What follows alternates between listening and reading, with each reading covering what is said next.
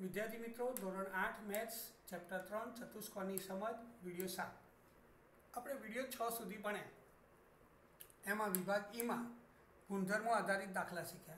એમાં વિકર્ણના ગુણધર્મો આધારિત દાખલા અને પરિમિતિના ગુણધર્મ આધારિત દાખલા શીખ્યા. એક દાખલો આપણે વધુ જોઈએ, ઉદાહરણ આઠ. એમાં આપ એક ચતુષ્કોણ આપેલો છે, ચતુષ્કોણ આર ઈ એન ટી, એ લંબચોરસ છે. હવે એના ઉપરથી આપણે એક્સ શોધવાનો છે. આ દાખલો પણ વિકર્ણ આધારિત જ છે. કારણ કે એ તમે જોઈ શકો છો. અહીંયા વિકર્ણ ઉપર એના માપ આપેલા છે. તો લંબચોરસ હોય તો લંબચોરસના વિકર્ણો એકબીજાને દુભાગે અને સમાન છે. આ દુભાગે એટલે બે સરખા ભાગ કરે છે અને બે સરખા છે. એટલે આ બધાના માપ સરખા થઈ જાય. એટલે ઓટી બરાબર ઓ આર બરાબર ઓઈ બરાબર ઓ એન થઈ જાય. આપણે જે જરૂર છે એની જ વાત કરીએ. ઓટી બરાબર ઓ આર તો ઓટી બરાબર ઓ આર લઈ હવે ઓટીનું માપ છે થ્રી એક્સ પ્લસ વન તો થ્રી એક્સ પ્લસ વન અને ઓવરનું માપ છે ટુ એક્સ પ્લસ ફોર હવે ટુ એક્સ એ કુદીને આ બાજુ આવે, એટલે three x minus two x one કુદીન પેલી બાજુ જાય ફોર માઇનસ વન માટે એક્સ બરાબર ત્રણ. આ એકદમ સિમ્પલ સહેલો પૂછી શકાય એવો દાખલો છે. આ થયા વિકર્ણ આધારિત દાખલા. હવે આપણે ખૂણા આધારિત દાખલા શીખવાના છે.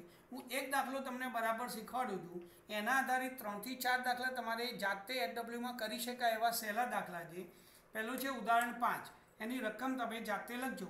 અહીં એક ચતુષ્કોણ આપેલો છે. એનું નામ છે આર આઈ એન જી એમાં એક ખૂણાનું માપ આપેલું છે સિત્તેર. આના ઉપરથી બાકીના ખૂણાઓના માપ શોધવાના છે. આ ચતુષ્કોણ છે સમાંતર બાજુ ચતુષ્કોણ છે. બાકીના ખૂણાઓમાં ફક્ત એક જ ખૂણાનું માપ આપેલું છે. તો બાકીના ખૂણાના માપ શોધો તો મેં તમને આગળ ગુણધર્મ શીખવાડેલો કે સમાંતર બાજુ ચતુષ્કોણમાં પાસ પાસેના ખૂણા પૂરક છે. તો સમાંતર બાજુ ચતુષ્કોણમાં પાસ પાસેના ખૂણા પૂરક છે. એટલે ખૂણો આર પ્લસ ખૂણો આઈ. તો ખૂણો આર પ્લસ ખૂણો આઈનો સરવાળો એકસો એંસી થાય કારણ કે પૂરક છે. આ ખૂણો આરનું માપ આપેલું છે સિત્તેર. ખૂણો પ્લસ ખૂણો આઈ બરાબર એકસો એંસી. તો ખૂણો આઈ શોધવો હોય તો સિત્તેર બાદ કરો. તો એકસો એંસીમાંથી સિત્તેર જાય એટલે ખૂણો આઈ બરાબર એકસો દસ. તો આ ખૂણો એકસો દસ મળી ગયો. હવે બાકીના ખૂણા શોધવા દે. તો આ સિત્તેર છે આપણે ગુણધર્મ પે એ પણ ભણી ગયા હતા. કે સમાંતર બાજુ ચતુષ્કોણમાં સામ સામેના ખૂણાના માપ સરખા છે તો આ સિત્તેર છે તો સામેનો સિત્તેર થઈ જશે. આ એકસો દસ છે, તો આ સામેનો એકસો દસ થઈ જશે.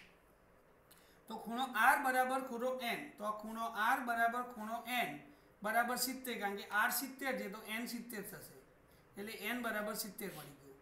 એ જ રીતે ખૂણો આઈ બરાબર ખૂણો જી તો ખૂણો આઈ એકસો દસ છે, ખૂણો જી એકસો દસ થશે જે આપણને મળી ગયું. આ આ રીતના દાખલા બીજા બે ત્રણ આવે છે, એ આપણે પછી ચર્ચા કરીએ છીએ. હવે આપણે આગળ જોઈએ. એના જેવો જ દાખલો. સ્વાધ્યાય ત્રણ પોઈન્ટ ત્રણ, દાખલા બેનો પહેલો એક્સ વાય અને ઝેડ શોધો. આમાં તમે જોઈ શકો છો એક્સ વાય અને ઝેડ આપણે આગળ ભણ્યા એ પ્રમાણે સો અને ઝેડ એ પાસ પાસેના ખૂણા પૂરક છે. ત્યાં સો છે આ એસી આવશે. પછી સામ સામેના ખૂણા સરખા લેવાના. આ એંસી છે આ એસી થશે, આ સો છે આ સો થશે. એટલે જે ઉપર દાખલો ગણે, એના જેવો સેમ ટુ સેમ આ દાખલો દે એ તમે જાતે એચ ડબલ્યુમાં કરી શકશો. હવે સ્વાધ્યાય ત્રણ પોઈન્ટ ત્રણના દાખલા બેનો ચોથો જુઓ. એક્સ વાય ઝેડ અને ડબલ્યુ શોધો. હવે આપણે જોઈ શકીએ છીએ, આ એક ચતુષ્કોણ આપેલો છે એ બી સી ડી એના બધા ખૂણાના માપ શોધવાના છે. આપણે ઝેડને ધ્યાનમાં નહીં લઈએ, હાલ પૂરતા. એક્સ વાય અને ડબલ્યુ અહીંયા એસી આપેલું છે આપણે આગળ દાખલો ગણ્યો એ પ્રમાણે. એક્સ અને આ ખૂણો બી અને ખૂણો સી પાસ પાસેના ખૂણા જે પૂરક છે. એટલે આ એસી તો સો આવશે. હવે આના ઉપરથી સામ સામેના ખૂણા સરખા લેવાના. આ સો તો આખું ડબલ્યુ સો થશે. આ એસી છે તો વાય એસી થશે. આ ચાર મળી ગયા. હવે આ જે સો મળ્યો, એની સાથે આ ખૂણો રેખિક જોડ બનાવે છે. જે આપણે બહિષ્કોણવાળા દાખલા ભણ્યા એના જેવું છે. એટલે આપણને એક્સ, વાય, ઝેડ અને ડબલ્યુ ચારે ખૂણાના માપ મળી ગયા. એ પણ ઉપર મુજબ જ સેમ ટુ સેમ છે. એના જેવો પણ આ એક દાખલો છે. સ્વાધ્યાય ત્રણ પોઈન્ટ ત્રણ, દાખલા બેનો બીજો. એમાં પણ તમારે એક્સ, વાય, ઝેડ શોધવાનું છે. ઉપર મુજબ સેમ ટુ સેમ દાખલો છે. એ તમે જાતે એચ ડબલ્યુમાં કરી શકશો. હવે થોડું ઉદાહરણ ચારમાં સહેજ ચેન્જ આવે છે. એ જોઈએ. ઉદાહરણ ચાર, ચતુષ્કોણ બીઈ એસટી એક સમાંતર બાજુ ચતુષ્કોણ છે. આ બીઈ એસટી એક સમાંતર બાજુ ચતુષ્કોણ છે. એક્સ વાય ઝેડ શોધો. હવે સમાંતર બાજુ ચતુષ્કોણમાં સામ સામેના ખૂણા કેવા હોય? તો ભાઈ સામ સામેના ખૂણા સરખા હોય. તો ખૂણો બી અને ખૂણો એસ સરખા દેજો ખૂણો બી અને એસ સરખા દે. તો ખૂણો બી બરાબર ખૂણો એસ તો એસનું માપ એક્સ છે અને બીનું માપ સો દે. તો એક્સ બરાબર સો મળી ગયા તમને. એટલે આ બરાબર સો થઈ ગયા. હવે બીજો ગુણધર્મ આપણે ભણી ગયેલા છીએ કે ભાઈ આ સો છે અને આ ઝેડ છે. તો આ બંનેનો સરવાળો એકસો એંસી થાય, કારણ કે પાસ પાસે જે પૂરક છે. એટલે ખૂણો બી અને ખૂણો ઈ પૂરક છે. તો એક ગુણધર્મ હતો આપણો, સમાંતર બાજુ ચતુષ્કોણમાં પાસ પાસેના ખૂણા પૂરક છે. તો પાસ પાસેના ખૂણા પૂરક હોય, તો ખૂણો બી પ્લસ ખૂણો ઈ, બરાબર એકસો એંસી. ખૂણા બીનું માપ સો છે, અને આનું માપ ઝેર છે. તો ખૂણા બીનું માપ સો પ્લસ ખૂણા ઈનું માપ ઝેર છે.